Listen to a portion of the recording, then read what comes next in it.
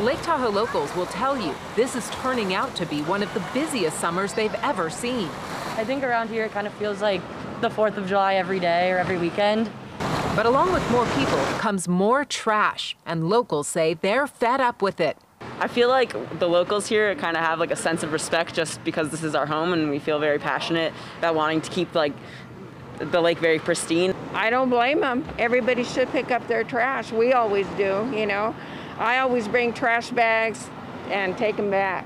But not everyone does. These pictures show the piles of trash left behind after recent busy weekends, enough to encourage locals to rally together with a plea for city leaders and a message for tourists. It's not that we don't want you here, we just want you to understand there's a certain level of responsibility when you come up here.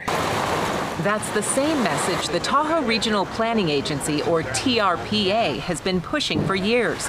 They say with Tahoe being made up of two states and four counties, changing the rules when it comes to tourism isn't quite that easy.